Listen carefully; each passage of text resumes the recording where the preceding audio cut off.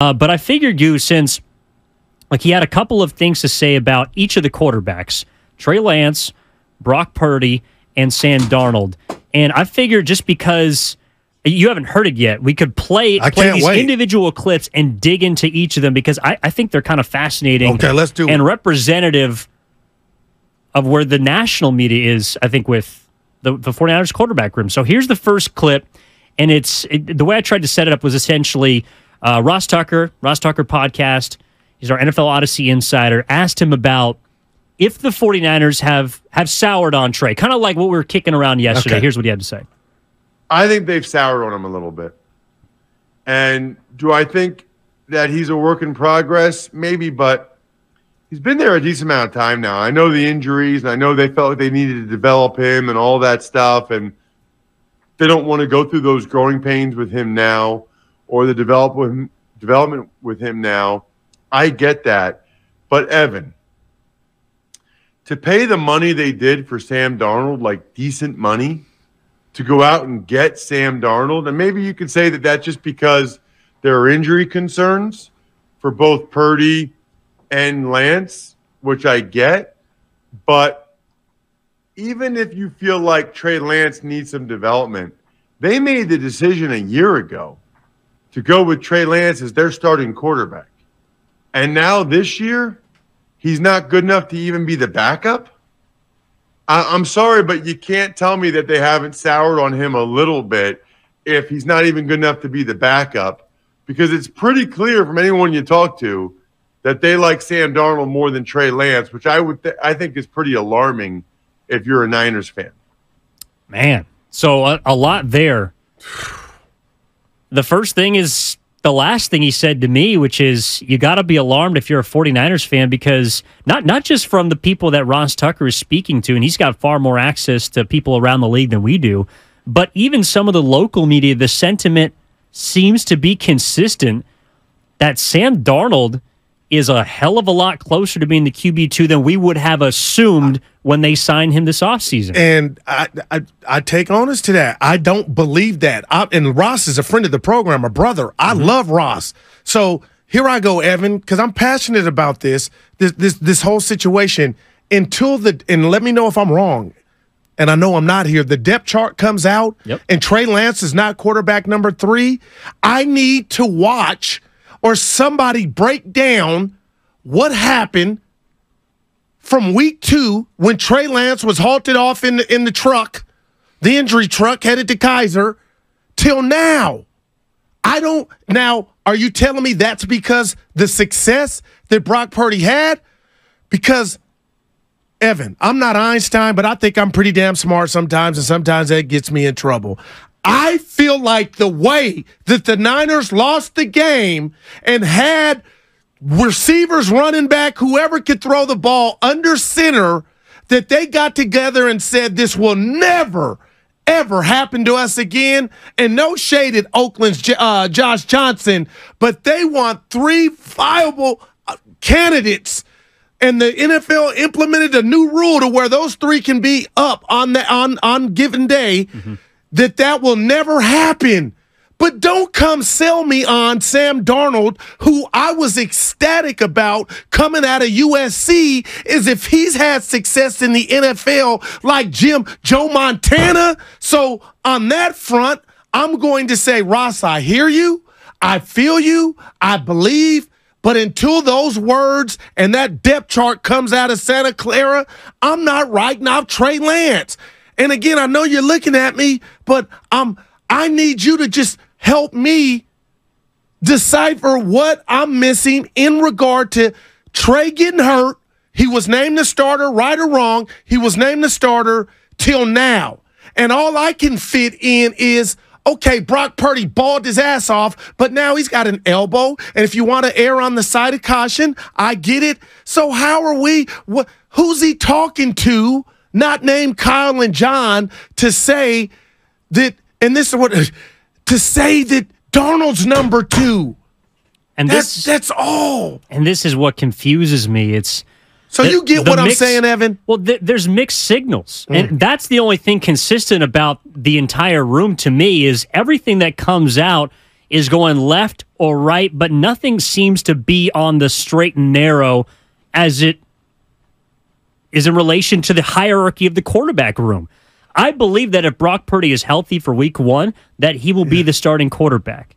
Everything outside of that, I have no clue what is going on. And that to me is frustrating because of where not only you drafted Trey Lance, Oh my of not only where you put him last year as your starting quarterback, and then of course he got hurt, but now it feels like he has, from the time he's been drafted, slipped lower and lower and lower on the totem pole of likability from inside the 49ers organization. But that doesn't match up with the reports that we're hearing about how they've liked him more than ever. And so that's what confuses me is if he is indeed what Ross, and I believe Ross when he says that everything he's hearing from local or national media surrounds Sam Darnold being the plug and play backup guy that they signed very quickly after the season ended for a higher slot than you would give to a third string quarterback. It's $4 million. It's not a whole lot of money, but you're not paying someone to be the third string quarterback $4 million the actions and the words do not match up to me from what I am seeing and hearing from the 49ers, and that's what gives me pause. Okay, well said.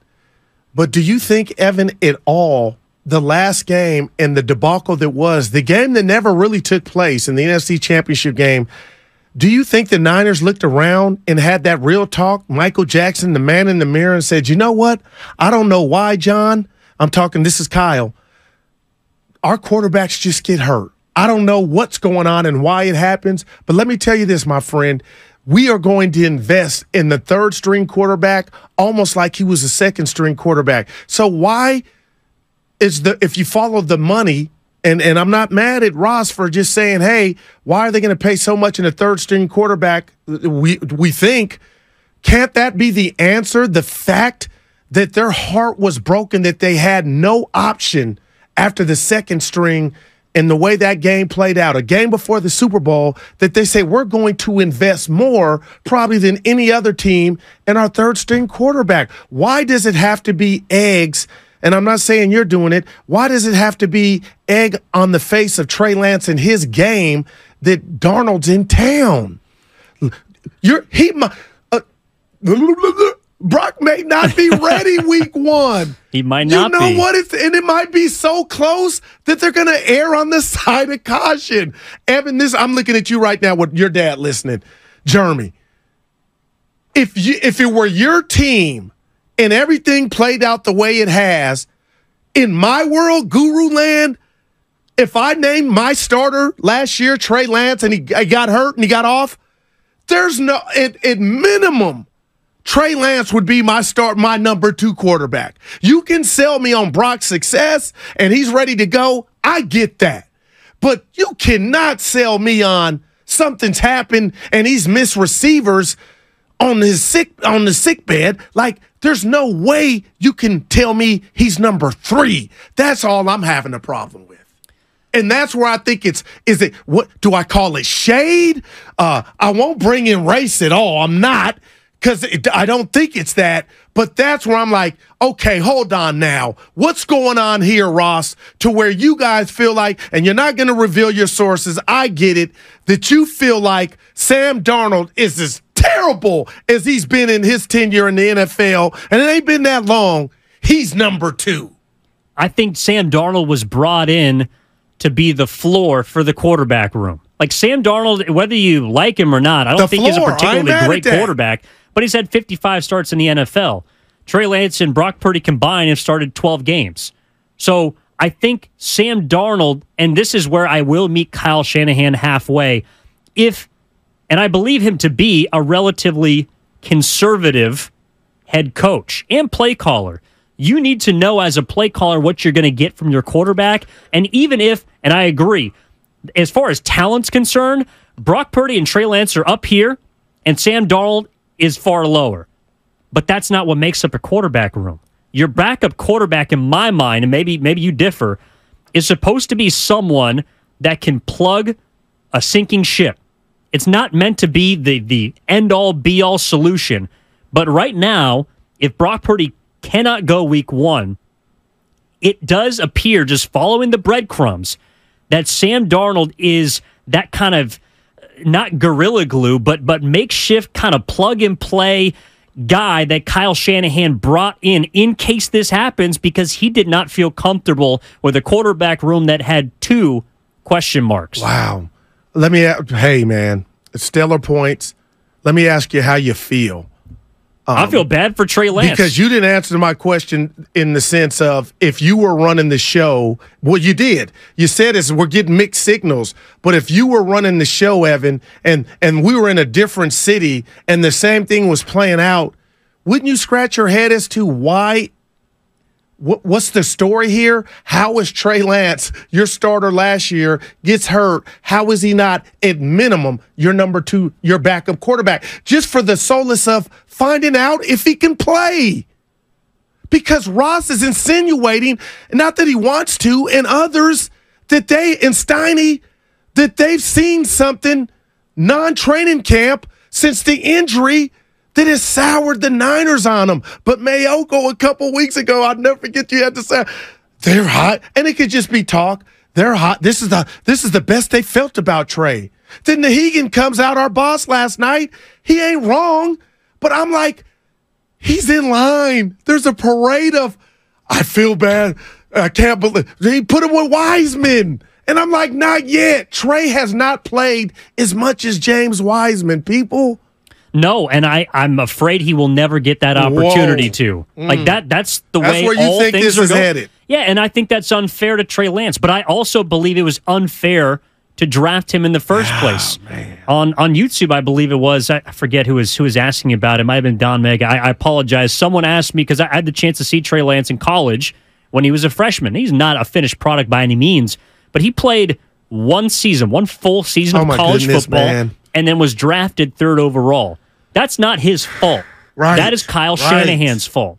And when now Kyle Shanahan brings in Sam Darnold to this equation, to me, I also get mixed signals about what you want because your roster is ready to win now.